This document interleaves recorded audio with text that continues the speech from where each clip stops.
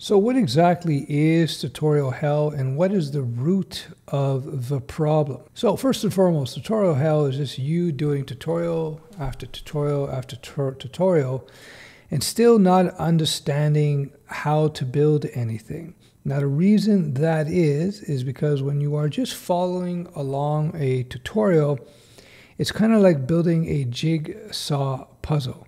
Or if you're doing martial arts, it's kind of like doing a drill, but not actually stepping into ring into the ring and fight. You see, tutorials show you a way of building something. I don't know, build a uh, Twitter clone with React and uh, whatever, Flask on the back end. Again, the problem with that is when you're actually building real applications, you actually have to think about things. You have to understand uh, the environment in which you're working. You have to understand if you're doing web apps, you have to understand the web, HTTP, request response cycle, et cetera, et cetera, et cetera.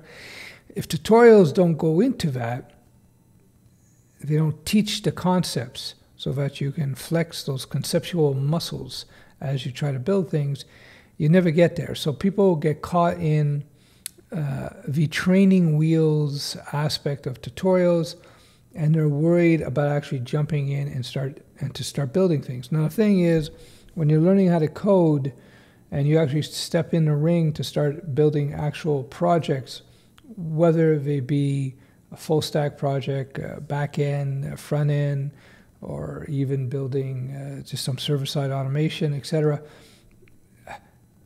The process of building these things is very um, it's, it's, it's a little bit artistic in the sense that you have to come up with ideas and solutions. Uh, what you've done in tutorials will not reflect on the realities of these projects. Why? Because projects have different requirements, there's different infrastructures, et cetera, et cetera, et cetera.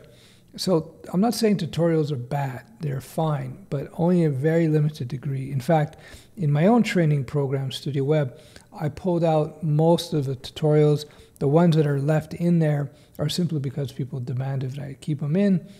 But at the end of the day, the way I train people in my mentoring group is you learn your foundations so that you can get your foot in the door, and then you want to start building real projects. Now, the projects you first build are going to be simple projects. You're not going to come out of the out of the uh, gate, uh, so to speak, and you're not going to come out and go, "Hey, I'm going to build the next Instagram now."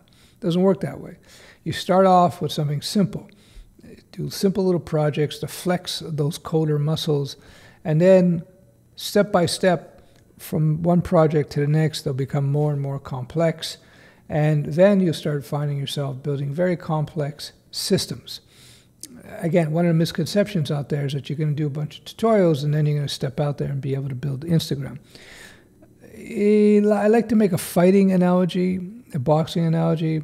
Now, I could train you how to box, teach you all the basics and fundamentals, and then I'll put you in the ring. But I'm not going to put you in the ring against uh, Mike Tyson or Floyd Mayweather or Conor McGregor. I'm going to put you in the ring with somebody who's, uh, you know, not so good as well so that you can somebody easy, so that you can develop some skills, you can develop some ability.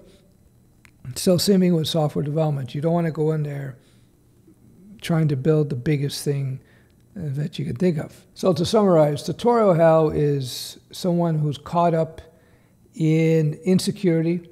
They're worried about or they don't know how to take that step to step out of the cookie cutter step by step provided framework in a tutorial, they don't know how to take that and turn it into real coding. And that usually comes down to a lack of understanding in the fundamentals. Once you understand the fundamentals, then you understand that all these frameworks and languages and libraries are tools that you can use to solve a problem. Now, how you break down that problem and turn it into code that solves a problem, that's the skill. That's really what a developer does. A good foundations course is what's going to teach you that.